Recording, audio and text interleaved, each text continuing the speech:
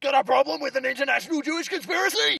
Imperialist dictatorship giving you the shits? Ahkmed's jihad supplies for all your jihad needs. It's Ramadan and everything's gonna go. Ahkmed's gone completely fucking mad. Buy one AK-47 and go on free. We're practically throwing them away. Bazookas, we've got them. Big ones and fucking massive ones. We've got pissy little ones too.